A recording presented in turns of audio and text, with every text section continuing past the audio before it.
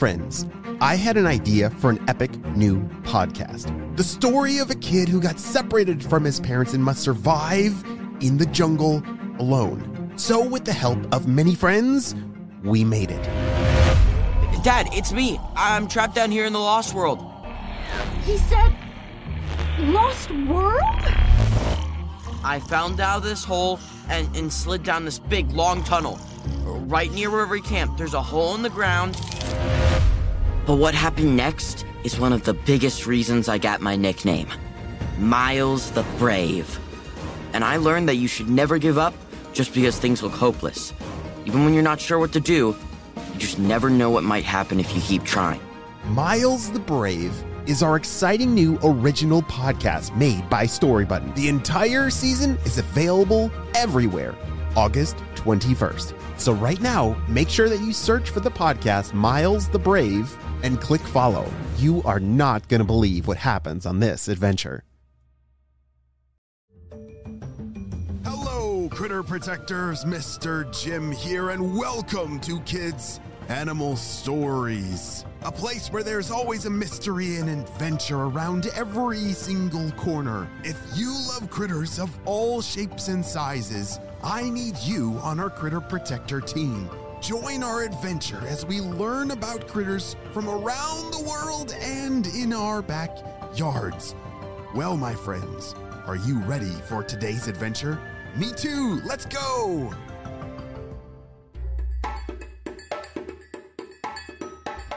On the last episode, we saw that Penny the pangolin was above ground hunting with her mom for the first time. Penny had been riding on her mom's tail because she didn't know her way around the African bush yet. Just when they were getting close to finding some ants for dinner, oh dear, Penny fell off of her mom's back. She was alone and very scared, but she remembered one very important lesson her mom had just taught her to curl into a ball to protect herself. Do you know how to curl into a ball? I wonder if it would work as well, probably not as well as a pangolin because they're a mammal that has scales on them. Hmm, I don't have scales on my back, but hold on a second. Where's Penny's mom and what was that crunching noise? Let's see what happens next. What am I gonna do now? Thought Penny as the crunching sound came closer. Maybe it's mm, a lion is after me, or a hyena, or maybe it's a giant elephant. Just when Penny thought she couldn't stand it any longer, she heard a familiar voice close by. There you are, Penny, said her mom in a kind voice. it's only you, Mama. What a relief. I thought I was gonna have to be face to face with a big predator. But wow, that's so scary. But I remember what you told me, and I used my scales like armor. Penny curled up in a tight ball to show her mom how she had protected herself. Wow, that's amazing, dear, said her mom. You are so brave. I knew you were ready to come above ground and hunt with me. Speaking of hunting, we should probably be on our way, right, Mom? We have a lot of ants to eat tonight, and the sun is going to be up soon. You are right. Let's go. Pangolins are insectivores. Do you know what that word means? It's kind of a silly word. Insectivores. it's an animal that eats only. Oh, wait a second. I'm not going to tell you. What do you think an insectivore eats? Do you think insectivores eat hamburgers? Or do you think they eat insects? yes, no cheeseburgers for pangolins. They eat only insects. An adult pangolin can eat up to 70 million. Yes, I said million. 70 million insects every year. Ants are pangolins' favorite meal, but they also eat termites too. What is your favorite food? Mmm, some delicious ants and termites? Gross. oh, do you think it'd be fun to have ants or termites for your dinner? I don't think so. Penny climbed back on her mom's tail, and they set off in search of insects once again.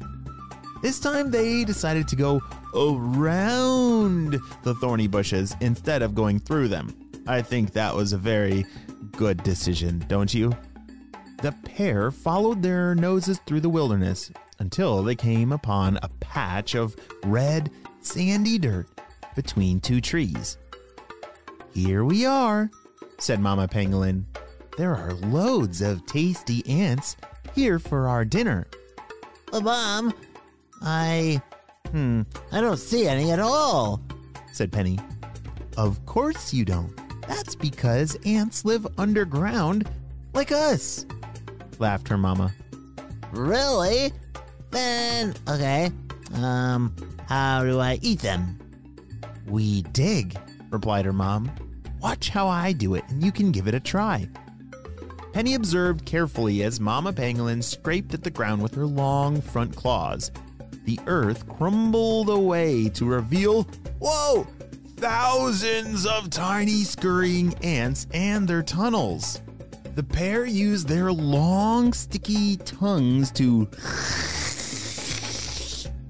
slurp up their dinner. Penny even tried using her claws to break open another part of the ant nest. For the rest of the night, they traveled through the bush, sniffing out insects and gulping them down. Penny was having a lot of fun, and she loved the taste of termites, especially.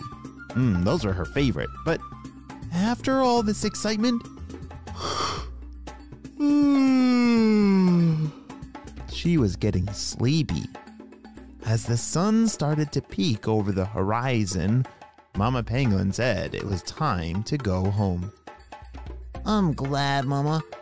Less eaty, more sleepy. Mama Pangolin smiled as she helped Penny climb onto her back. Soon they were on their way back to the burrow.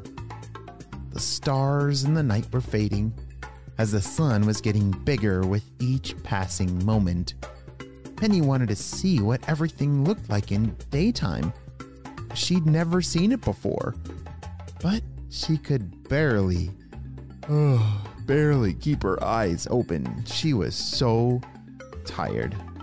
Just then they turned around a tree and arrived at home.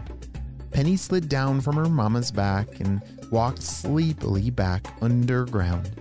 With a full belly and a head still full of questions, she snuggled up to her mom and drifted off to sleep. I think she's going to dream about all those yummy ants and termites. What about you? Wow, on her first trip above ground, Penny learned that it can be scary to try something new, but it can also be really fun. She was brave and stayed safe by listening and staying close to her mom. When was the last time you tried something new? What did it feel like? You have a grown up with you to help you feel safe? I hope so. The next time you are scared to try something for the first time, remember that with the grown up's help, you can be brave and have fun just like Penny the Pangolin. The end. Hey friends, I need your help celebrating a birthday. Drum roll, please. Brrr. Happy birthday, Sebastian, who's turning five years old. Sebastian loves to creek stomp on sunny days, searching for crayfish and treasures. He also likes to ride his tough bike in puddles. Whoa, Sebastian, I'm so glad we got to celebrate you and your big day on the show. Happy fifth birthday. Well, Critter Protectors, I hope you all have a super duper day, and I will see you on our next adventure. Bye!